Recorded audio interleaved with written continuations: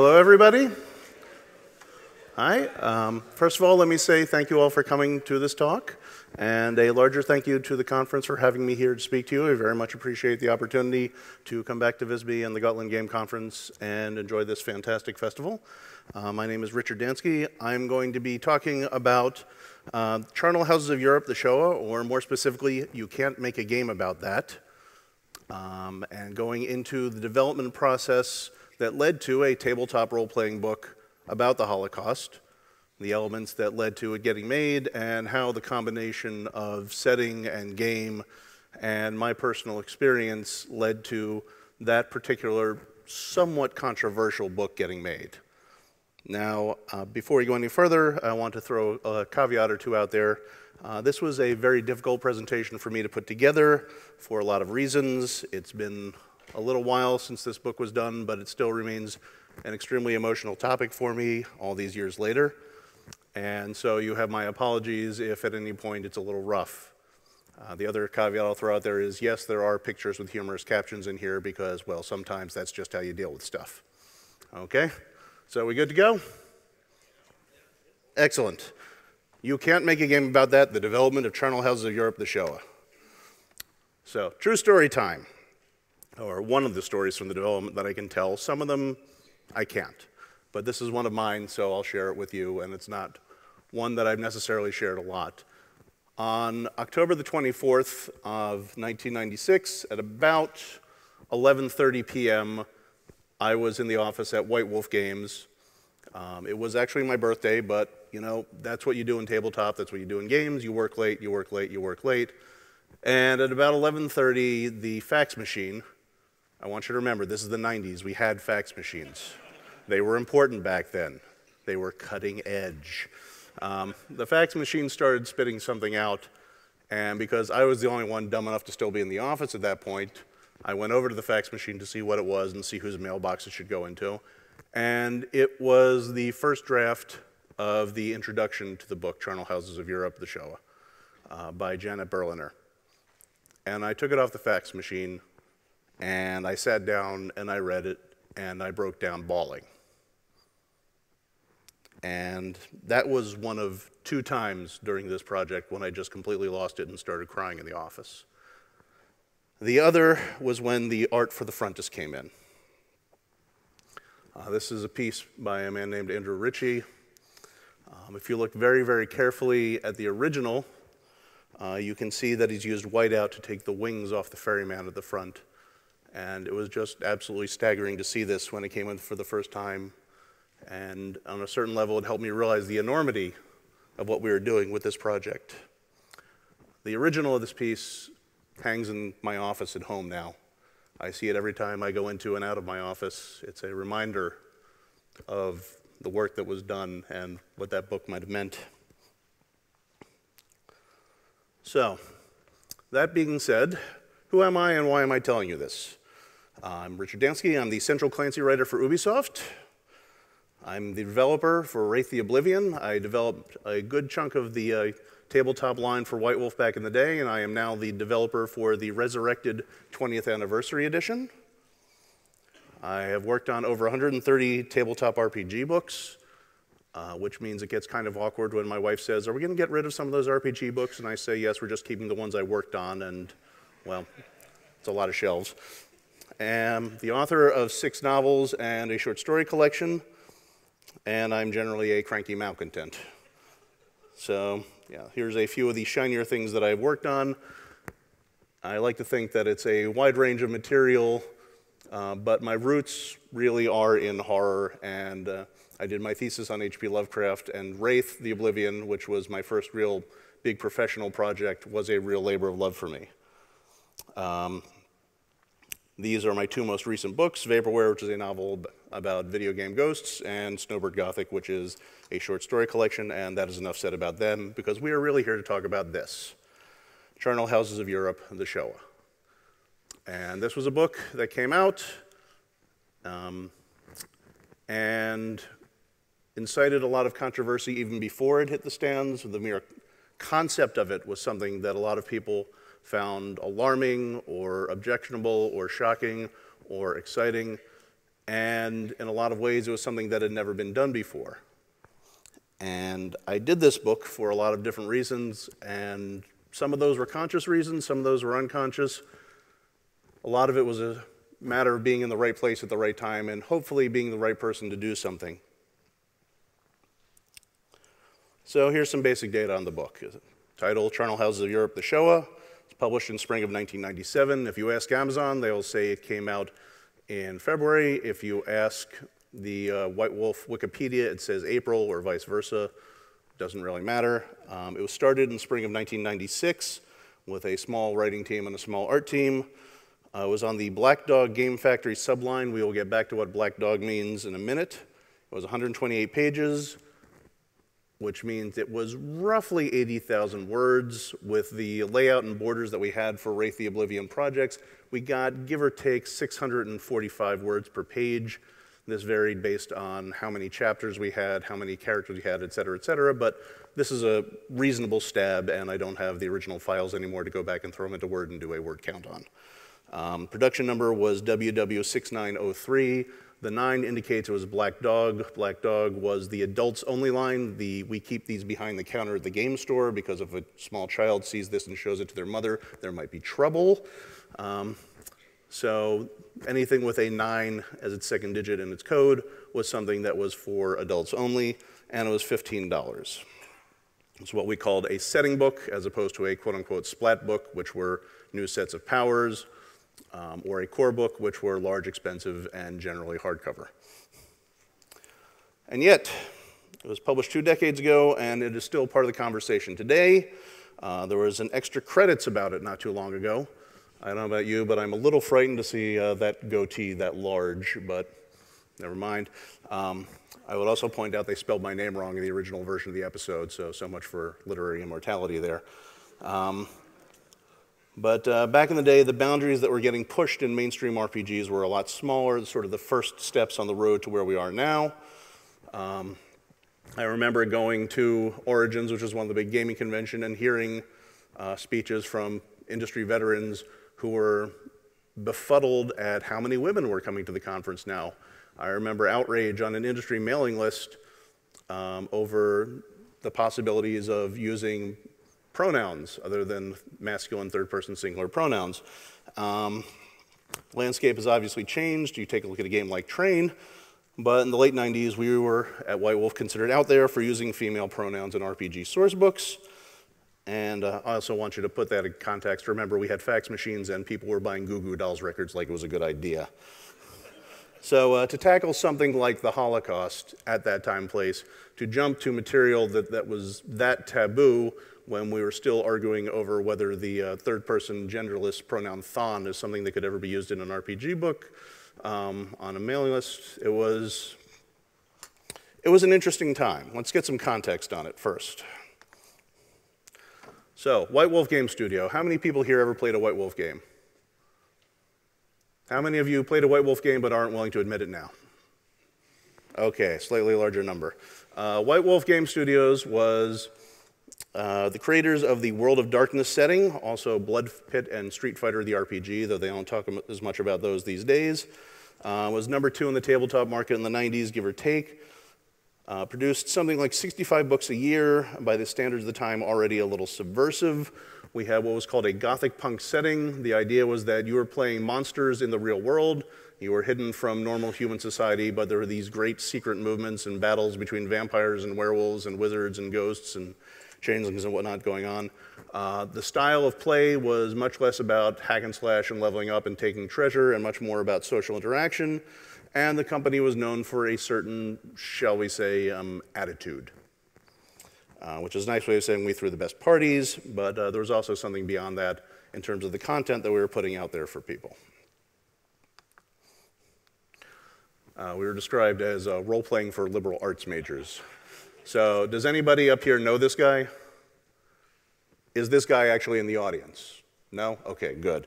Um, but uh, yeah, we were being castigated in certain circles for, yeah, as I said, ruining the English language by getting experimental with our pronouns, um, by having emphasis on social interactions instead of just accruing giant dice pools. Not that you couldn't accrue giant dice pools if you wanted to. It was what uh, Justin Achilli, the vampire developer, called Vampians, um, emphasizing non-traditional areas of the mainstream gaming experience like costuming for LARPs and all that sort of thing. Um, and by no means am I implying that we had spotless intent or that we were the white knights of the gaming industry or that we were on any sort of uh, magical crusade, but rather these were things that seemed like the right thing to do for us. And it was pushing a little bit outside the comfort zone of an industry that maybe had been a little bit hidebound and a little bit wrapped up in its traditions, such as they were. So, making the books.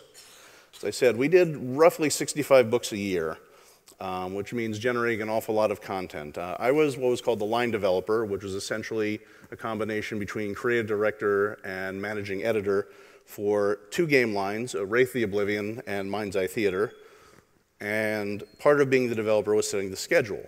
That meant uh, determining which books were coming out, saying, okay, we're going to do you know, a player's guide, and we're going to do an you know, a city book on Cleveland, and we're going to do you know, a, a splat book for ghosts who like to rattle chains and things like that, and just sort of figuring out which books were needed, which ones were appropriate. And that meant figuring out who was going to write them, so we didn't all hire the same three writers and burn them out. Not that that ever, ever happened. Um, we would uh, collaborate with our developers to make sure that we weren't all putting our big books at the same time, make sure that we weren't stepping on each other's toes. You had to do some big books, some small books. You had to stagger the schedule so all the big books weren't coming out together, and so on and so forth.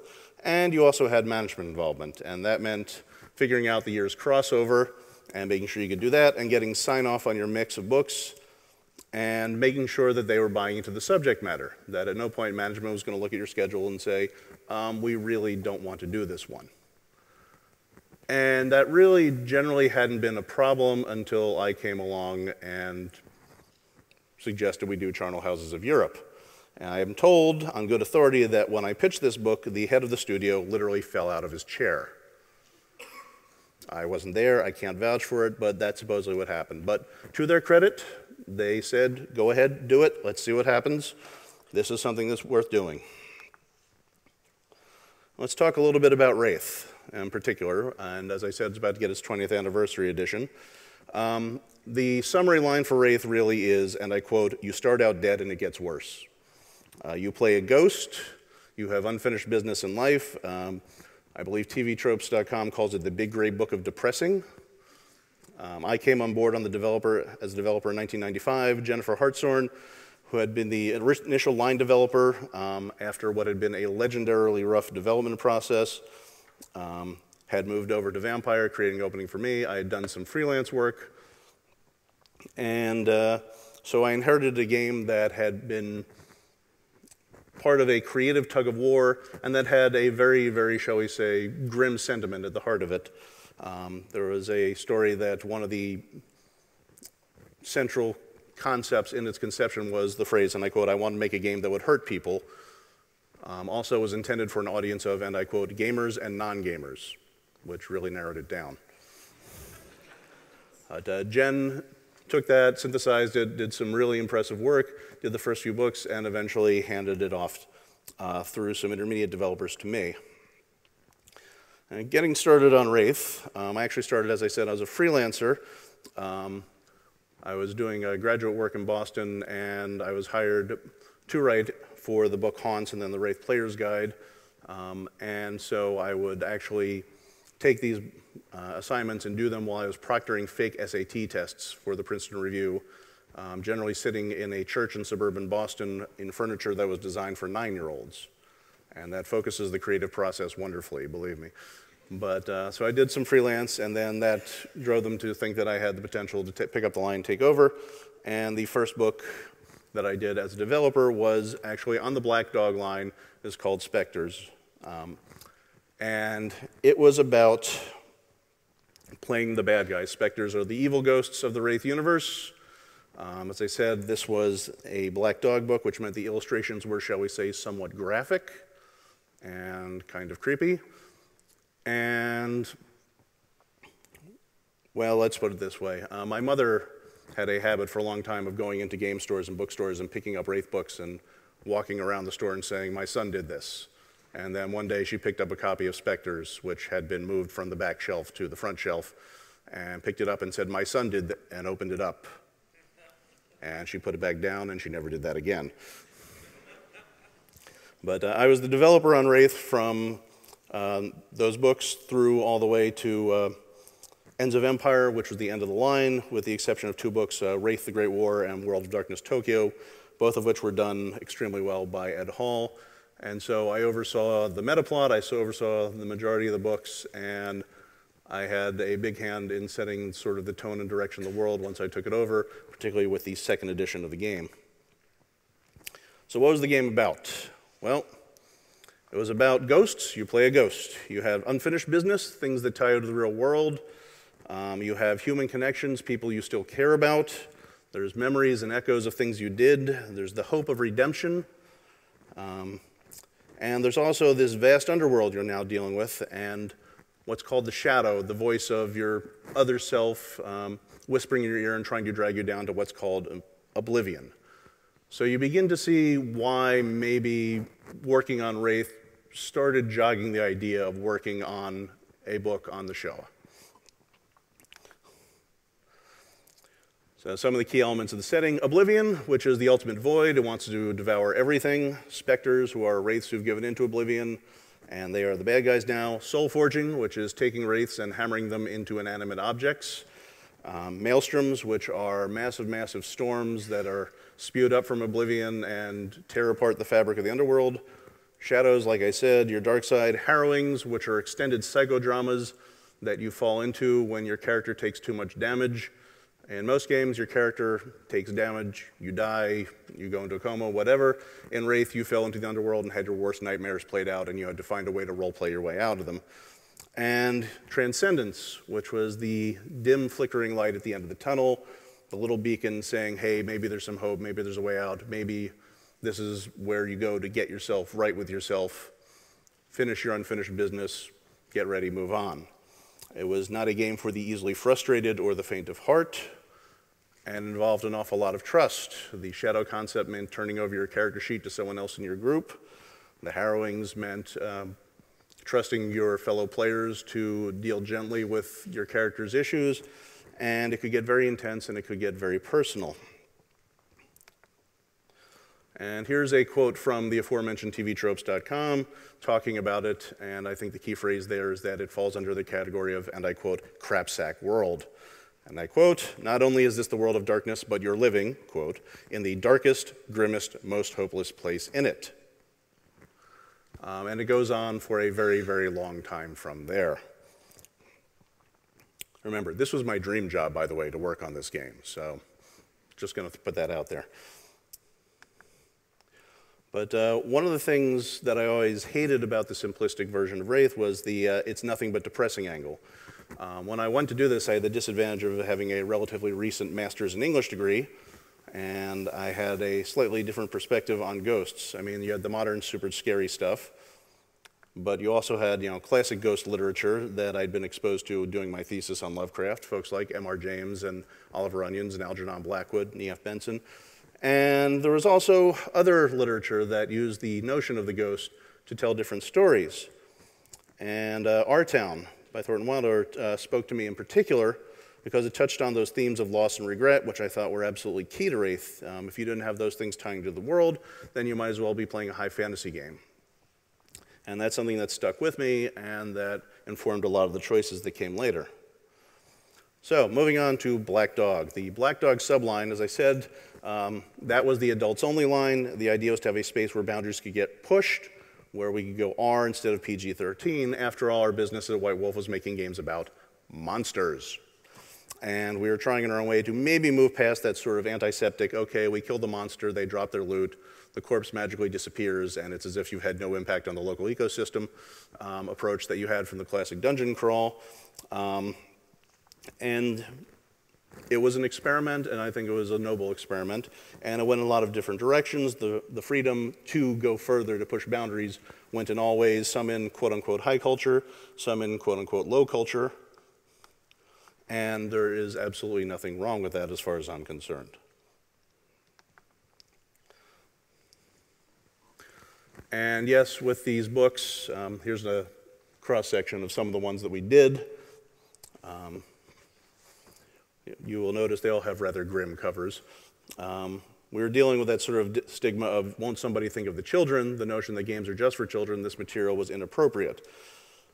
And to be honest with the material that we were working with, we needed to have the ability to be gross or sexy or whatever was necessary.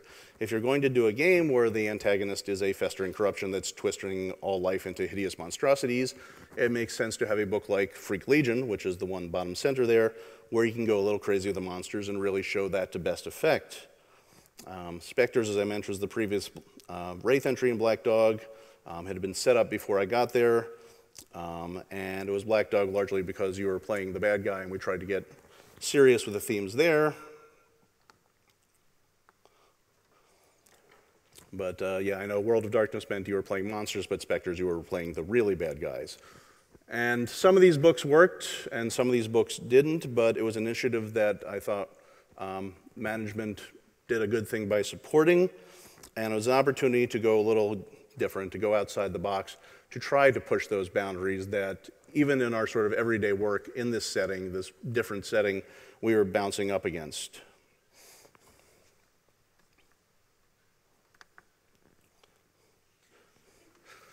And so eventually I was setting a schedule and I was asked, you know, what's your Black Dog book going to be this year? And I thought about it, and I thought about it, and I thought about it, and then I thought about it some more, and then I may have thought about it some more, and I decided, you know, if, if this is the sort of thing we're going to do, if this is a company that says Games for Mature Minds is its logo, if this is the sort of thing we are saying is our mission, then yeah, we should do it for realsies. And that brings us here. Um, I said 96, I was putting together the schedule for 97. I had a slot for a Black Dog game book, and I had certain opinions about what we were doing and what we could be doing with the freedom the Black Dog afforded us. So I uh, put my schedule together, and I thought about it, um, and I uh, kicked the idea around to a few people whose opinions I trusted, uh, who were industry pros, who had been working in the field a long time, who had done a lot of work that I respected and admired. And this is what they said.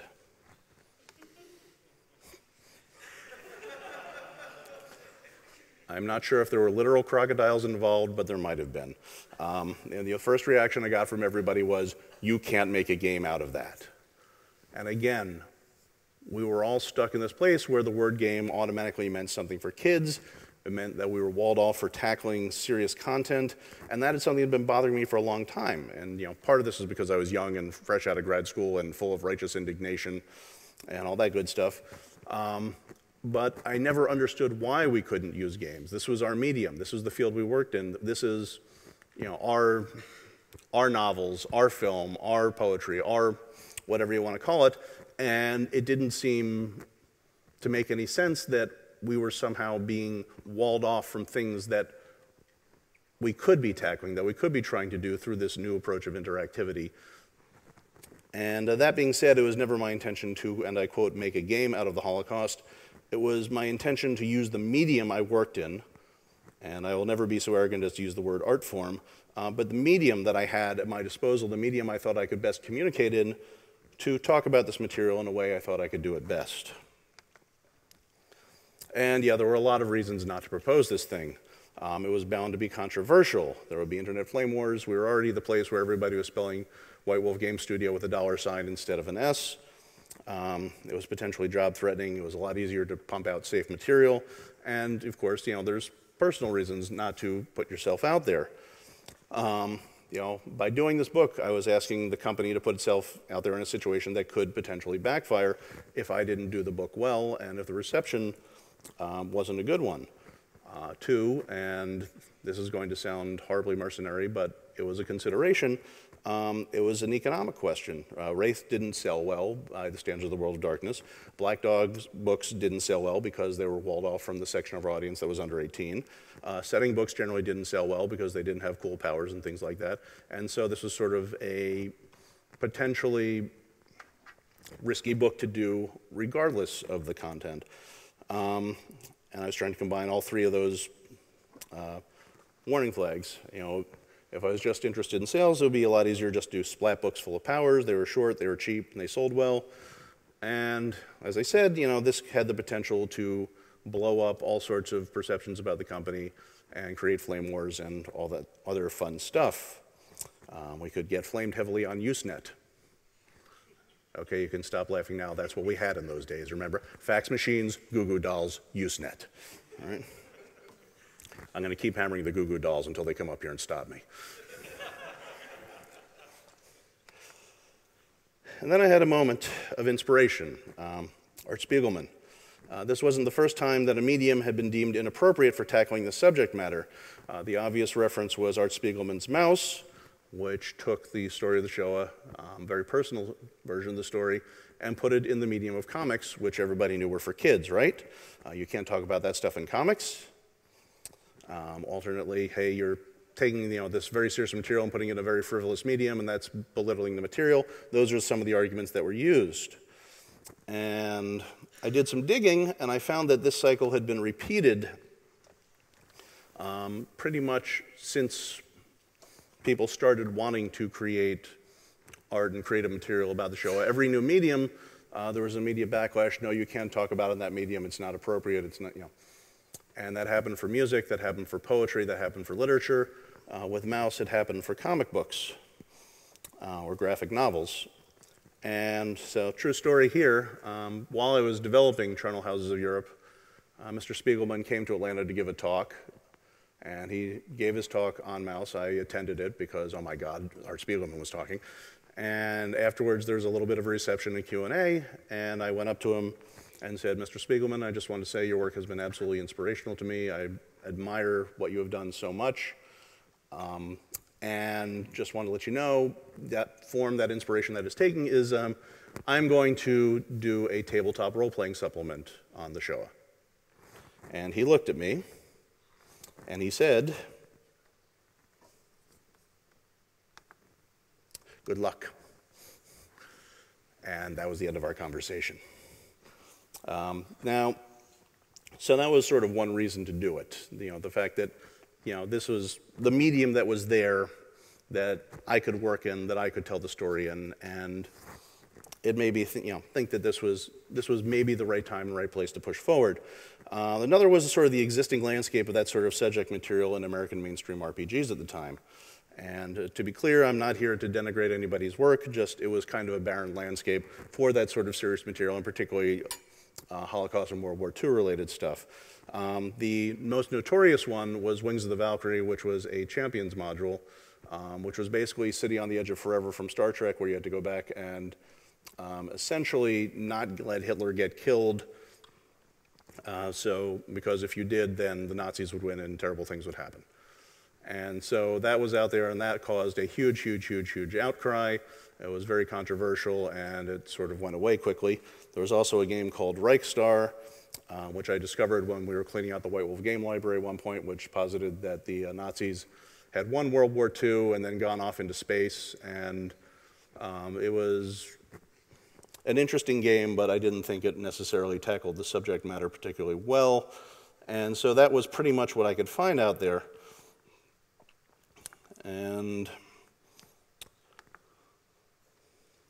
yeah, like I said, maybe it didn't turn out so well. And once you get past that, you get into sort of the, the deep thicket um, with the urban legend about whether TSR tried to copyright the word Nazis. They didn't. And uh, maybe the best way this was, was tackled was in the Tales from the Floating Vagabond role playing game, where they very deliberately made Nazis an object of ridicule and mockery uh, sort of the Werner Klemperer approach from Hogan's Heroes. But at the same time, this may be presented an, an opportunity. There was, you know, an open space here. And working on Wraith, which was sort of the Deep Space Nine of the world of darkness. Uh, how many of you watched Deep Space Nine? Okay, how many of you are willing to admit that Deep Space Nine was not the cool Star Trek, right? It was the one that maybe didn't have the biggest ratings. It was the one that didn't have as many watchers, and that opened them up to do all sorts of really interesting storylines. If you go back and look at some of what they did, there's amazingly progressive and interesting stuff in there. And I took a little bit of uh, inspiration from that, saying, okay, here's this vast empty space. And Wraith is not the economic powerhouse that's driving the world of darkness. Um, Wraith is not the one that everybody's looking at, so maybe I have a little more creative freedom to try and do something a little different. I can take advantage of the fact that all eyes aren't quite on me and get a running start on this. And that felt liberating and it felt inspirational. But it still begs the question uh, why tackle this material? Why did I think this format was a good one to do it in? And why did they think that I could or should do this? And this is an illustration from the book. You'll be seeing a few of those as we go further on. And here's where I ran smack into one of the central tenets of the world of darkness, which was the secret history the idea that there were hidden powers in the shadows manipulating all of history for their benefit. Um, it started the very first Vampire the Masquerade book and the suggestion that everything from the Punic Wars to Mrs. O'Leary's cow kicking over the lantern and setting Chicago on fire was secretly caused by vampires. Uh, if you look at the Splat books, you looked at the, uh, the back pages of the World of Darkness, and history is supposedly littered with famous people who are werewolves or vampires or changelings or mages, or in the case of Rasputin, all of them at the same time. And um, important events that were always you know, cover for you know, this famous werewolf battle or these two vampires throwing down or things like that. And I realized that I couldn't really deal with that. Uh, the idea of having the Holocaust contextualized like that simply wasn't possible I uh, couldn't shove the responsibility for what happened off onto some mythical monsters doing it for antiseptic reasons of realpolitik. It felt wrong. So I decided that there wasn't going to be any metahuman master plan behind this. It was going to be something done by humans, to humans, for appallingly human reasons, without any help any, from any supernatural entities, and that we were the real monsters. And I think in a lot of ways that's what made things click, not just as an idea, but also making this a coherent part of the world of darkness, which this still had to be. Because monsters at least have an excuse, right? They're monsters. Um, people don't.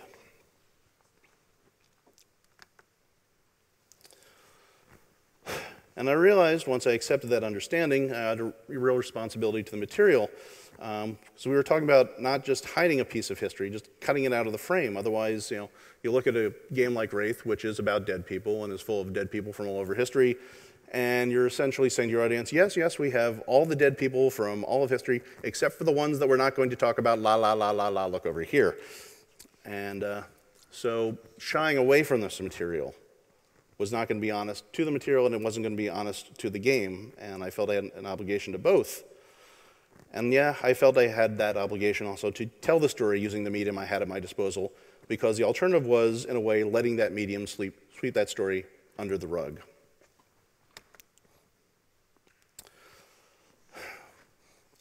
And bearing in mind that you know this was a uh, younger me, shall we say, um, it was a story that I felt that I had the capability to tell respectfully and tell well.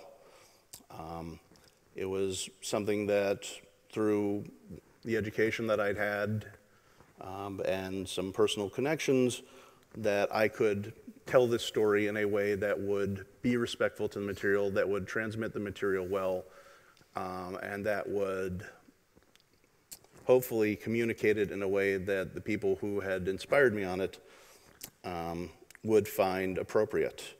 Uh, my sister, at the time, she was working for Steven Spielberg for his Shoah Foundation.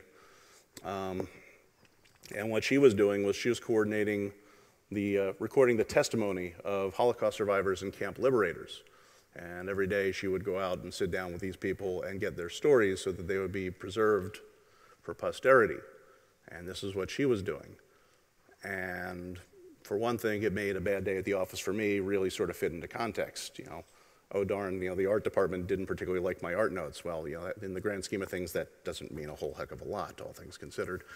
But it also really inspired me, saying, okay, she was doing what she was doing to try and do something bigger, as it were, to preserve the story, to pass it on to future generations using the medium that she had at her disposal. And, you know, here I was, and maybe I should take the opportunity to do the same.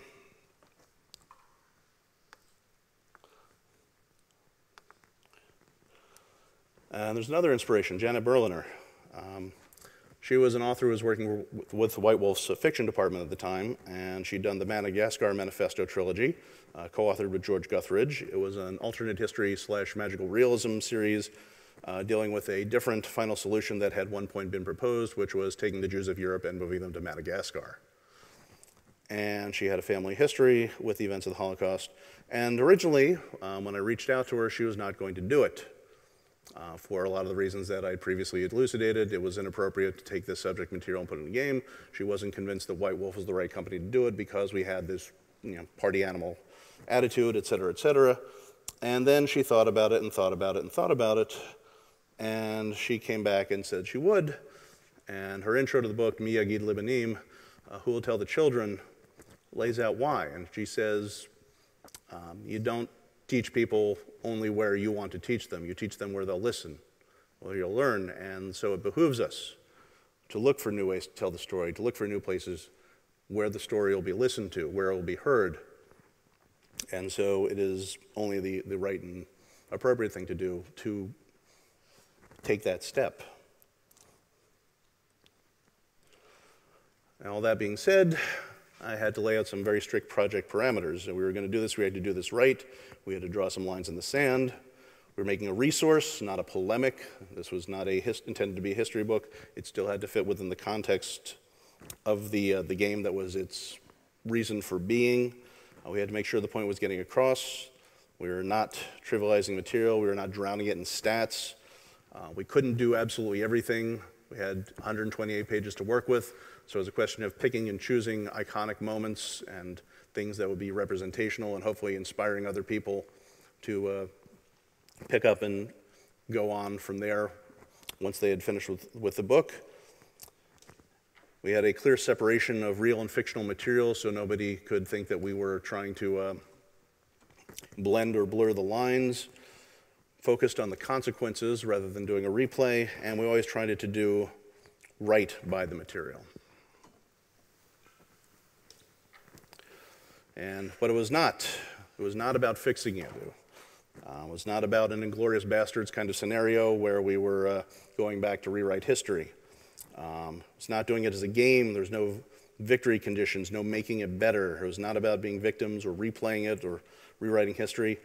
Um, it was about consequences. It was set in the modern day. It looked at the consequences, what it meant um, in the real world, and then extrapolating that to what it meant in Wraith, and using that as a lens for looking back at what had gone on.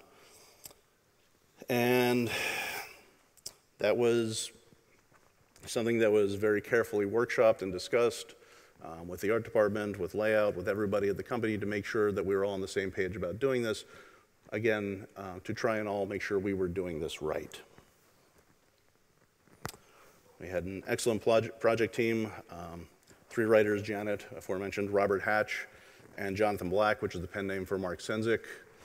Um, we had three artists, Andrew Ritchie, George Pratt, and Larry MacDougall.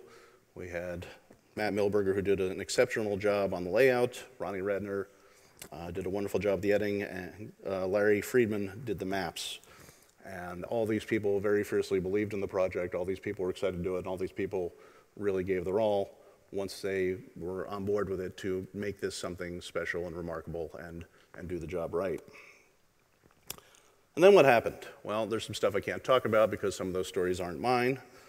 Uh, the people I just mentioned did some amazing work. Uh, book development is generally a long and boring process, so I won't go into the details of that. Um, there were, of course, eruptions on the internet. There were a lot of people saying uh, White Wolf can't do this book. There were a lot of people saying this book shouldn't be done by anybody. And what I did, uh, because I understood why people would have reservations, why people would be upset, um, and if, you know, to be honest, if I had heard that somebody else was doing this, I would want to be very cautious about it as well. Um, I reached out to everybody I could who was being particularly energetic in their responses. And it didn't work so well with the guy who compared the book to Mein Kampf, but with a lot of folks, what I would do is I'd send them an email. I'd say, look, I'm happy to talk to you about this, try and get you to understand what we're trying to do, and hopefully this will assuage some of your fears. I would send them portions of the book. I would send them some of the art. I would invite them for follow-up conversations. And in many, many, many cases, uh, what that did was it opened some dialogues and got us to a good place where people had their fears um, assuaged and they saw what we were trying to do with the book, and um, I think we got to a better place with that. And I also got a legendary phone call that I'm not going to talk about here because I've told that story too many times.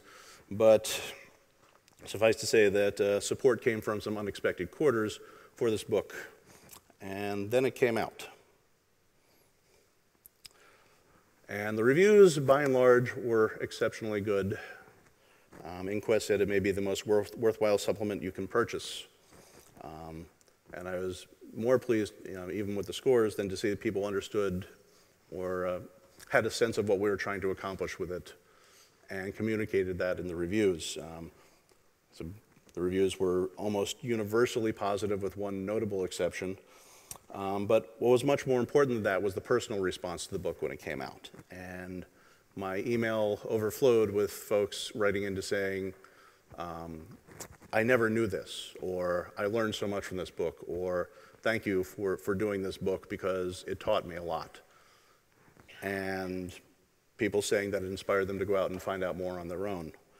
And that was really all I could, all I could hope for. And bear in mind, the intent was never to be a textbook.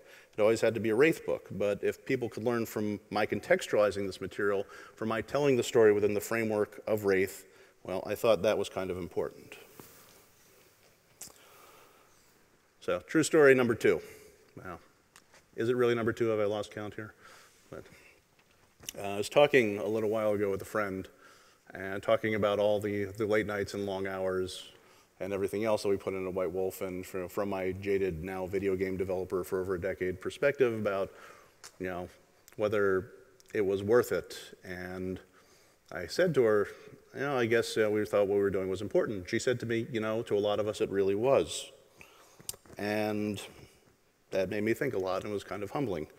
And the fact that I'm here talking about this means that maybe it meant a little more than I could have imagined when I first sat down to sketch well, any of it out, but this book in particular. And I can honestly tell you that I never imagined anything greater for it. I just wanted to do the book and do it right. I am honored and humbled that it still resonates with people, that people are still talking about it, that you thought it was worthwhile to invite me here to talk about it. Um, I know the book wasn't perfect, but I'm proud of the intent and of the effort and of the work. And I would certainly never say that it kicked open doors for other projects, but I'd like to think that it opened up the discussion a little further. I'd like to say to push the boundaries out, that it opened up new territories, that it planted the seed in people's minds that maybe they could do something that was you know, a little different too, that it was something that people could point to to support their arguments when they wanted to try to push their own boundaries. And the lessons that I learned on this book they're going to inform my work on Wraith 20, everything else I do as I going forward, go forward, absolutely. Um, to be honest, the book, Charnel Houses, was the beginning of the end of my time at White Wolf because once you do that book, what else do you really have to say? Um, it's kind of hard to go back to writing another storytelling chapter after that. But I took the lessons and I took what I learned and what the people who bought the book and read the book had taught me forward, and I like to think that has informed the material that I have done and that I'm continuing to do. And so, thank you all very much for listening. I hope it was worth your time. Uh, please feel free to contact me on Twitter at rdansky, and uh, thank you very much. Are there any questions?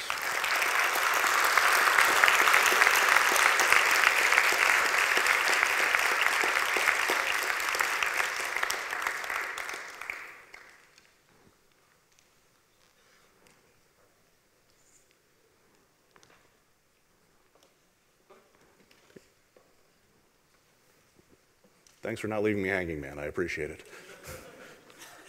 Well, I, I can't not ask questions, so. Um, ask away. Uh, I haven't uh, read anything that you've written, I don't think, but from this presentation, uh, it's quite, it's extremely impressive what you did in uh, creating this, well, contextualization of a horrible thing from history. Um, but I'm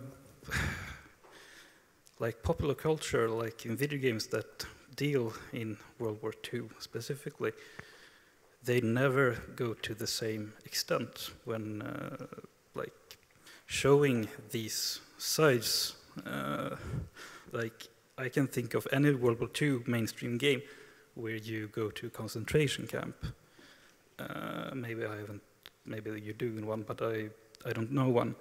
Uh, how do you do you feel frustrated that not enough people have uh, like followed your lead and decided to actually try to explore these really horrible parts that actually happened?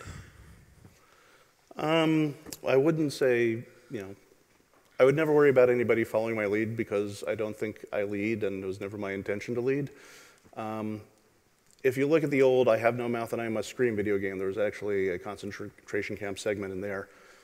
And while, you know, I would love to see more exploration of the topic know, in this new medium that I'm working in, I am heartened by all of the directions that we're pushing the boundaries in um, from Gone Home, Papers, Please, all, all of the games that are pushing onto topics that somebody would have said, no, you can't make a game about that, about you know, Once Upon a Time. So, you know, by all means, let's all keep pushing and see where it takes us. Thank you. Thank you.